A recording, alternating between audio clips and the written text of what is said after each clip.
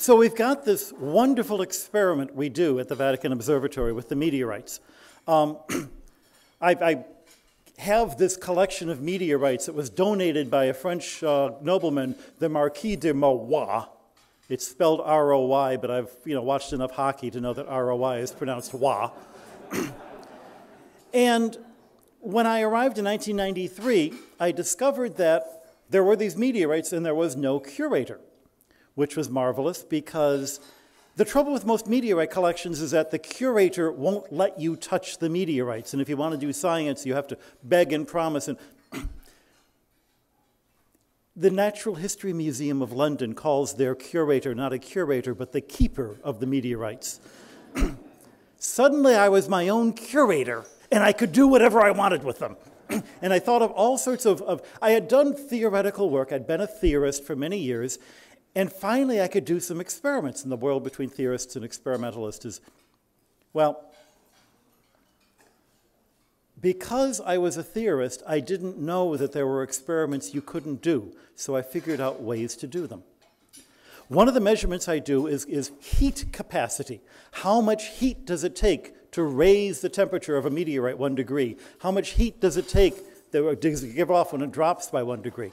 How do you measure that? It turns out there are million dollar machines. A, a colleague of mine at Boston College has one of these, Father Cyril Opeil. But you've got to carve up the meteorites to use the million dollar machines, and even I won't let me do that. but imagine, if you will, a scale connected to a computer, recording the weight on the scale every second. You put a dewar on the scale. What's a dewar? It's um, a thermos bottle.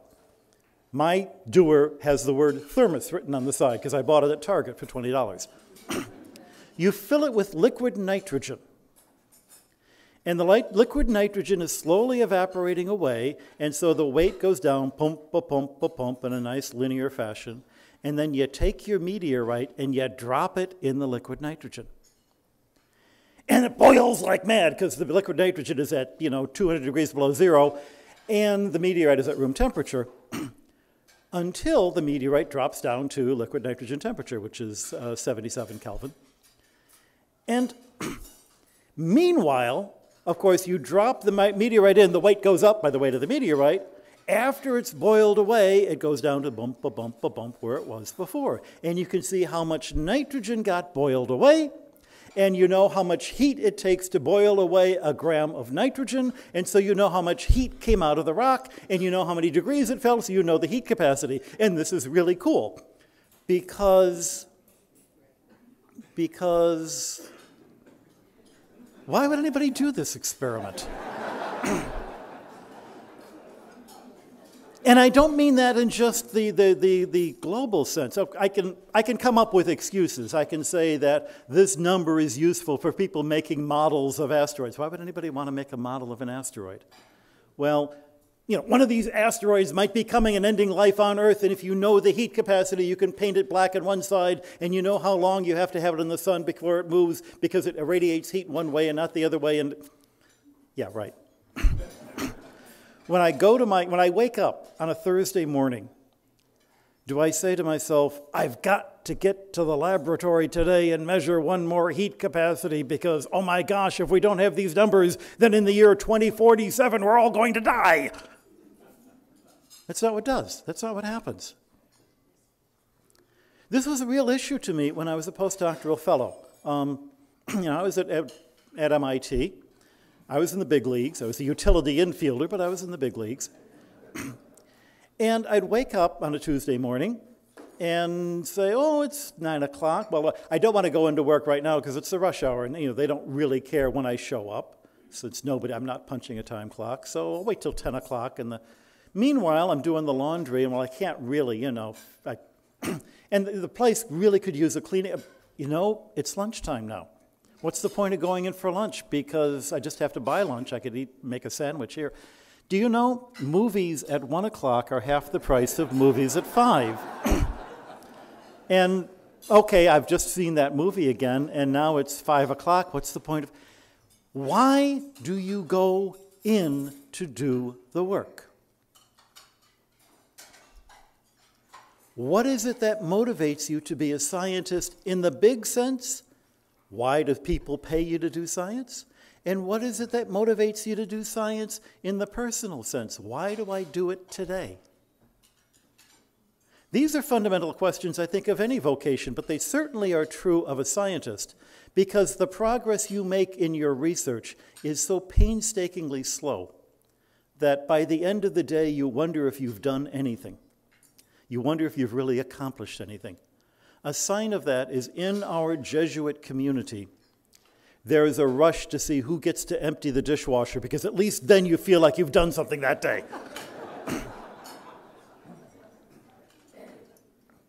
why do we do science? A lot of it, it reminds me of why did I go to MIT? I went to MIT because my friend Mike was going there because I had a big science fiction collection. But I stayed there because I felt like I was part of a community. Because science is this conversation you have with a community.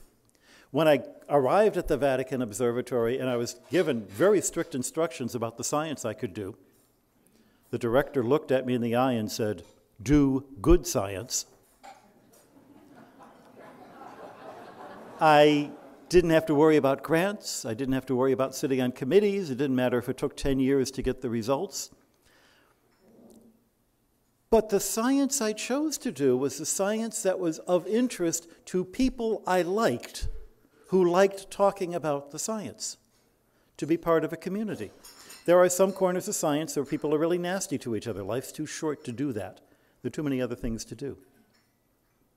There are other reasons why you can get people to you know, support science in a bigger sense, but you need that community to make it happen. And as an example of why the community is important, why you know, what you're doing is important, um, about 20 years ago, I gave a talk at a colleague at College of Charleston, South Carolina, invited me down. I talked about the moons of Jupiter and the theoretical models and, and how I'd been making measurements that could improve the models. And a kid comes up afterwards and he goes, This is a great talk. I really like what you're doing. I want to be a geologist. Great. This is what you hope is going to happen, right? You're going to inspire people. He says, I want to be a geologist. What do I tell my mom? South Carolina, Bible Belt. If being a geologist means that your mom is going to be ashamed of you, you're not going to be a geologist. If being a geologist means that you have to explain full time that no, you're not, you haven't you know, sold your soul to the devil because you think the world is 4.5 billion years old.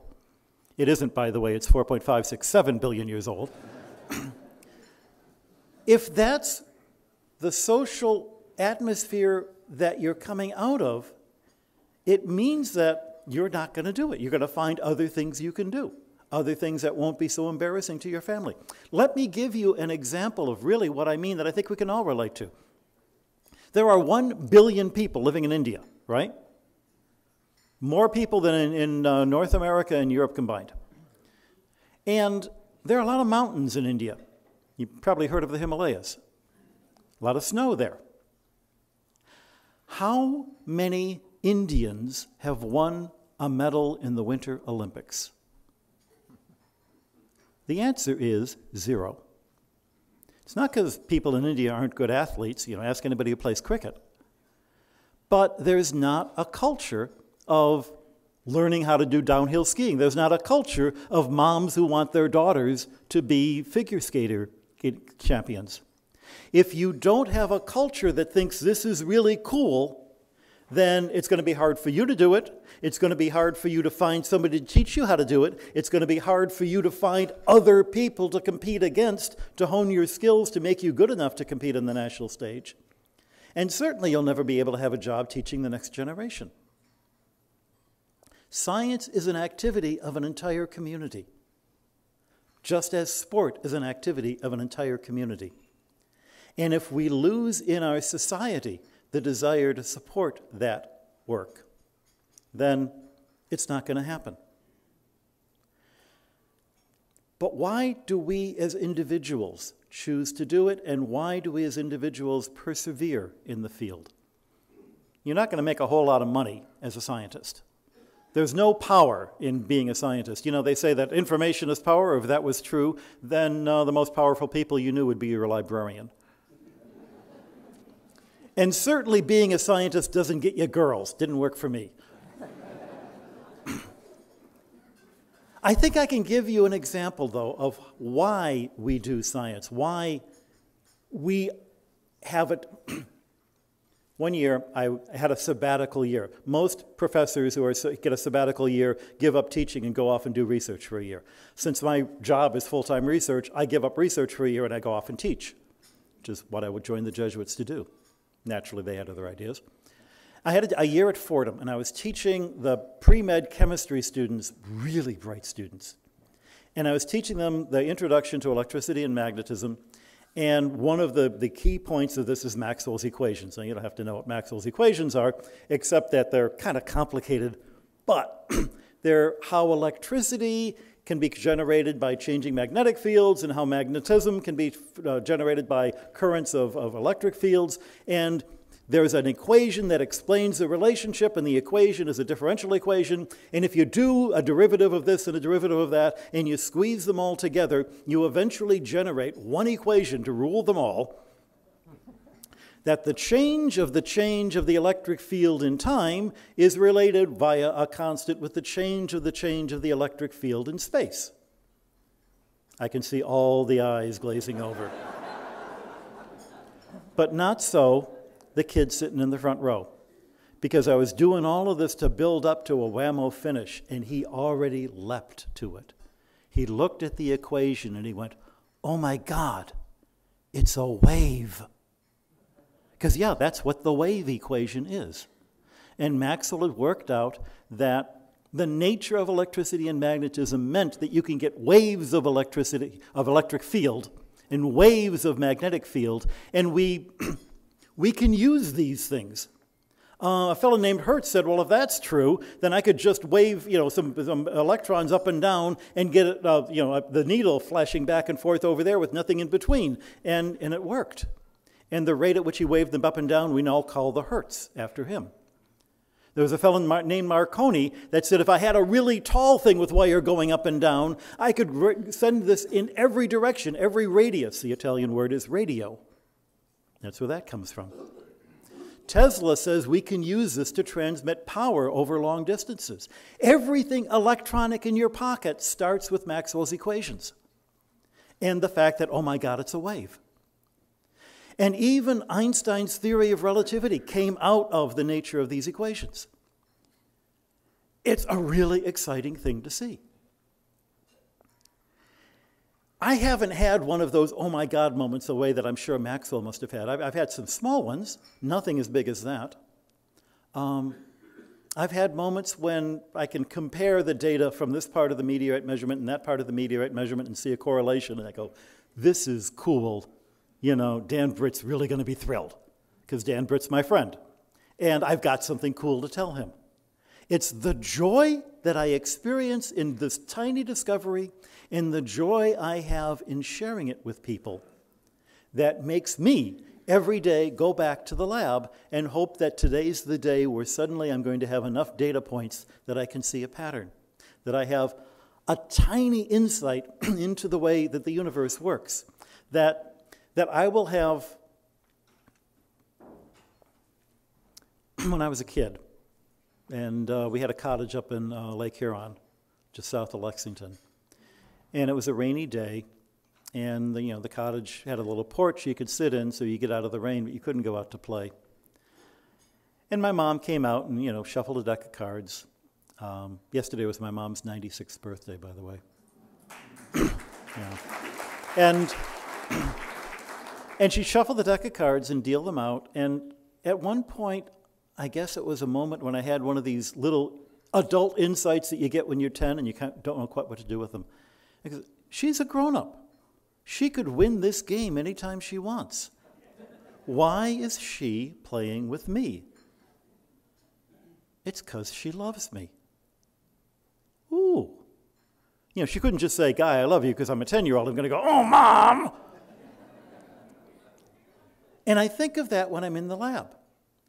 And I get some little insight into how the universe works. I've solved some little puzzle that, you know, is only interest of me and five other people.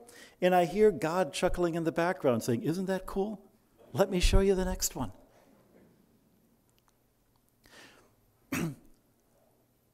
but that doesn't really explain, in a grander sense, why we as a society supports, support science.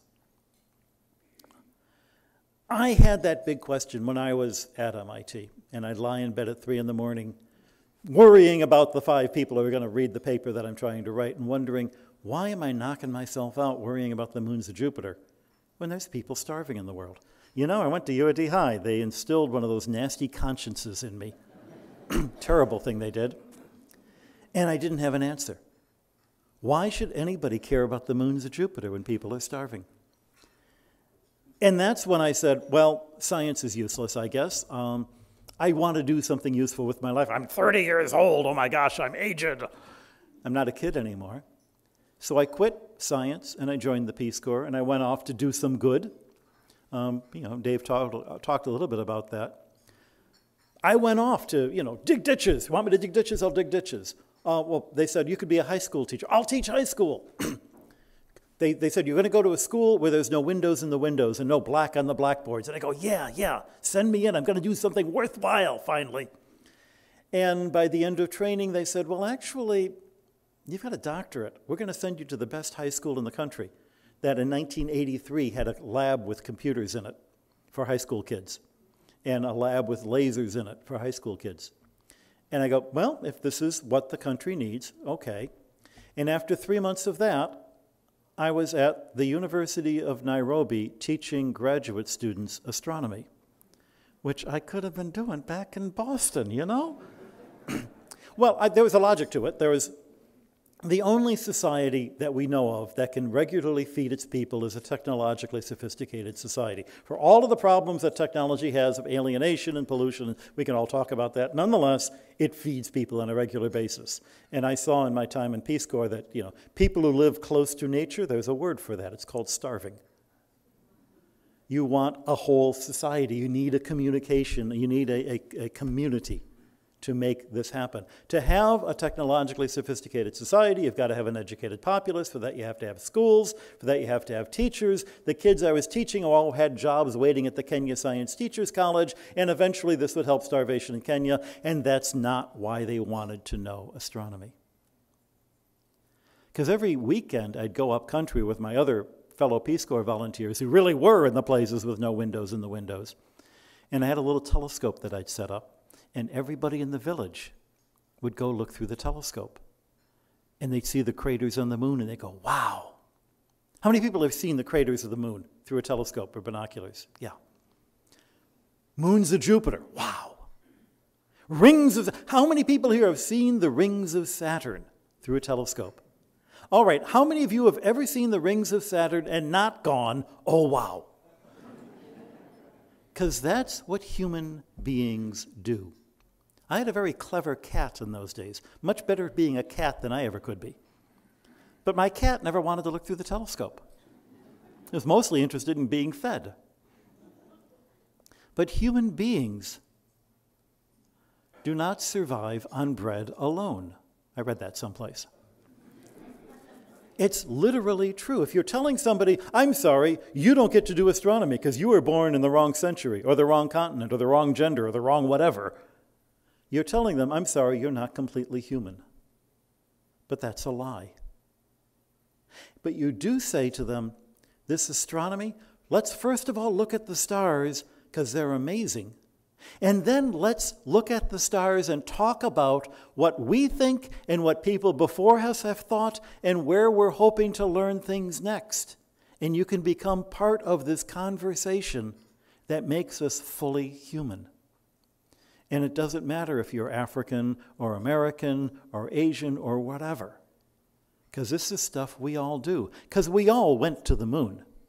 It wasn't just the astronauts, it was the guys who built the rocket, the guys who planned out the orbit, the people who did the calculations for the orbit, the people who fed them in the cafeteria so they could do the calculations, the people who built the roads that allowed them to carry the food to the cafeteria. We all went to the moon.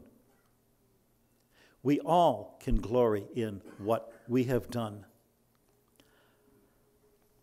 You may have heard recently about the discovery of gravitational waves, and this was done by a couple of really wonderful but complicated uh, experiments, one in, in uh, Baton Rouge, one in the state of Washington. There's a new one now in Italy.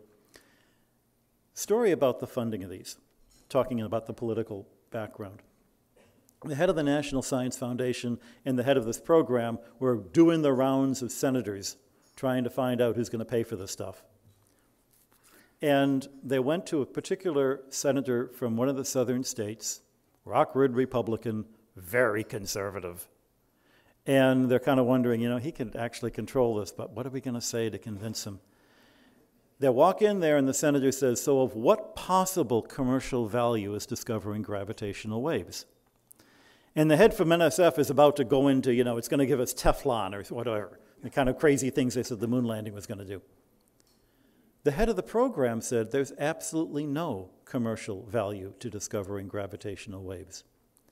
And the senator said, Well, if that's true, then private industry will never pay for it, so I guess the government has to. And they got the money. We do science for that oh my God moment.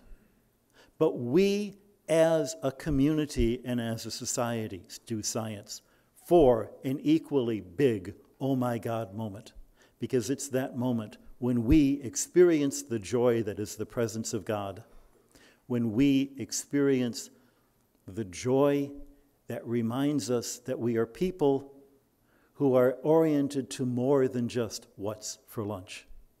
Speaking of which, I hope you had a great lunch. Thank you all.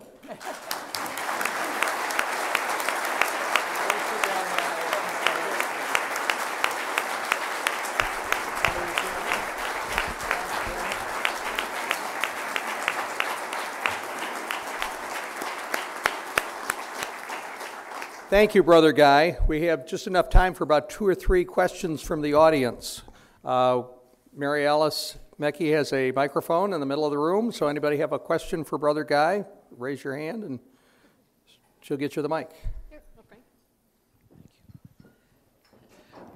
Brother Guy, could you please tell us a little bit about Pluto and how the satellites, the, the probe that went mm-hmm. by the summer before yeah. last, changed your perspectives? Um,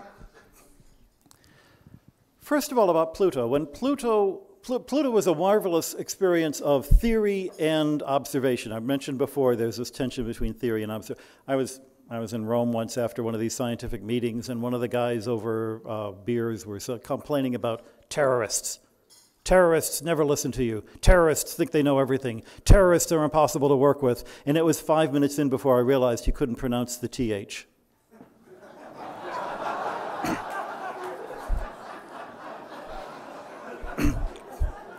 Well, it was theorists who predicted that there should be a big planet perturbing Neptune. And they said, Look here. And when you looked there, they saw a little moving dot of light. And they said, Well, that must be our big planet. In the 50 years after that discovery, they, they found out that number one, Neptune really wasn't perturbed, it was just a mistake in calculating its orbit. And number two, every time they tried to measure the size of Pluto, it was smaller than they thought, and smaller than they thought, and smaller than they thought. Um, you know that the Earth's moon is significantly smaller than the Earth. Pluto is that much smaller than the Earth's moon. At which point you go, okay, it wasn't the thing we thought it was.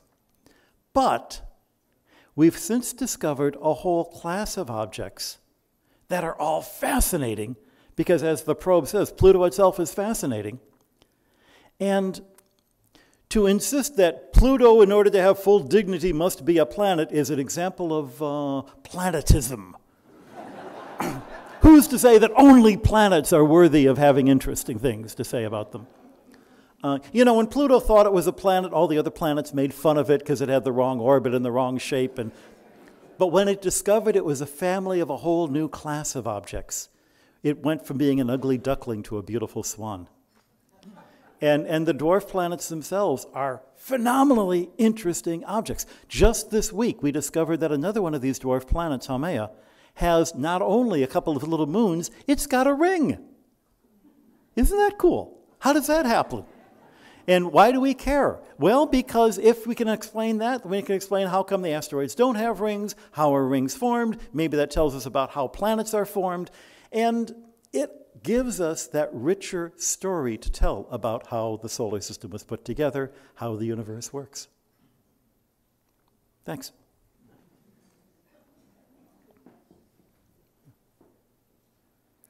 The person with the mic is coming.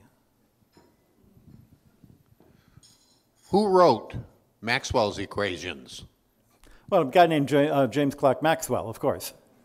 No, Oliver Heaviside. Ah, the version that we've got. Um, when, when I give tours at the Vatican Observatory, which we've got, you know, an outfit in Rome and an outfit in Tucson, and the outfit in Tucson runs the telescope, and the telescope is supported by your donations, but we're not supposed to say that today. but if you want more of this conversation, I can say go to a place called the Catholic Astronomer. Anyway, a, a blog site, which is really a lot of fun. Um, I give tours and I try to explain that science is more than, astronomy is more than just looking through a telescope. You have to have a literature.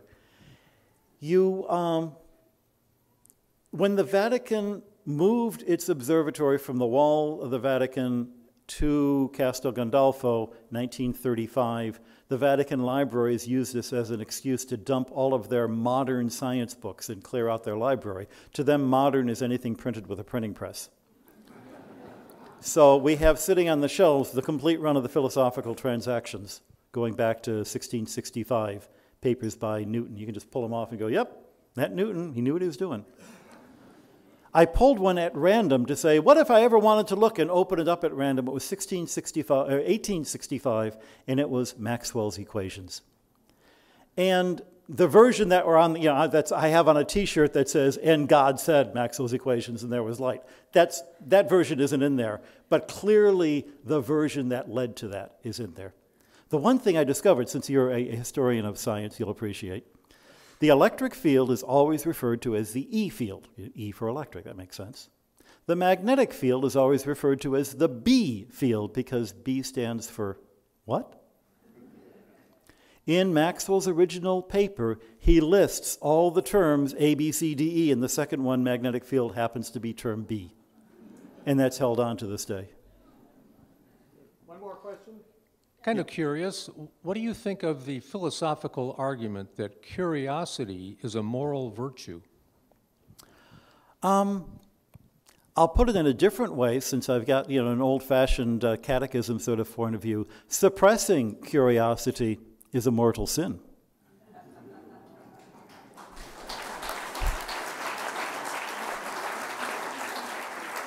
It's, it is one of the things that makes us human, makes us more than eating machines. And yet, with everything, uh, it has to be done within limits. There are, there, it's not that there are things man was not meant to know, but there's a time and a place when you want to ask somebody a question you're curious about that maybe would be very rude to ask them. So, not all curiosity unbounded is that way. It, it's, it reminds me, though, of the sense of the nature of the physical universe. Um, we get Genesis questions all the time, and I'm going to fold this into where you, what you're talking about. When people read Genesis and they go, "Boy, that's not the Big Bang Theory," we know the Big Bang Theory was invented by a Catholic priest, George Lemaitre. He was not a Jesuit. He hated being called a Jesuit. It is possible to be smart and not be a Jesuit.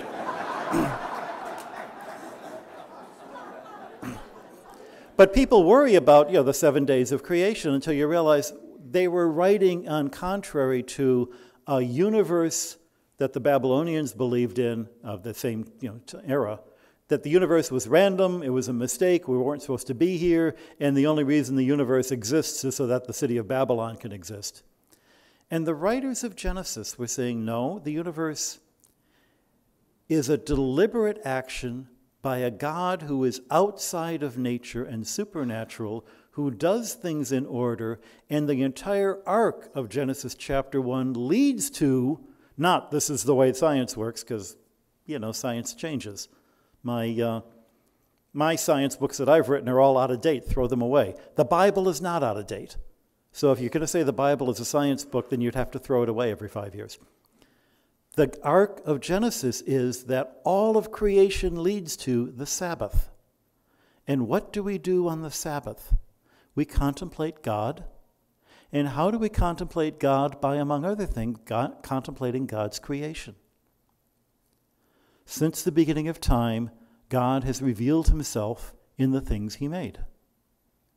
So, not only is science an act of worship, it's, to my mind, the point of why we exist to come to know God.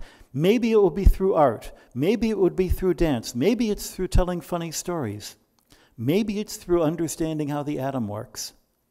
But all of these are explorations of a universe that brings us closer to God, God the Creator, the God who so loved the world that he sent his Son, and the God, Jesus Christ, who in this universe embraced the universe and made it sacred. And that's why we do science. Everybody, have a great time. Do some experimenting on your desserts. Thanks for coming.